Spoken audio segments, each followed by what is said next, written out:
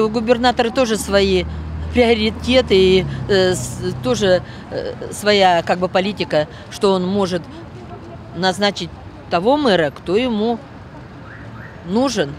Люди же жить потом будут с этим губернатором или с каким-то руководителем. Им же придется и общаться, может быть, даже когда-то прийти с какой-то просьбой. Ну, мы должны или поддержать, или, или не поддержать его тогда. Пусть выбирает и губернатор. Чтобы народ выбирал, должен знать характеристику этого человека, правда? Вот даже вы спросили, а, все, никто ничего не знает про этого самого Франка вашего. Так ведь? И что они за кого будут подписывать, а за кого они будут голосовать? Они не знают. Вы знаете, кто сейчас у нас мэр города?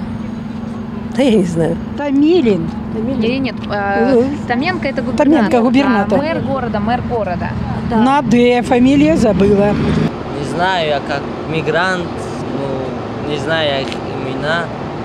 Ну, лучшего, хорошего, которого вот добро принесет вот здесь.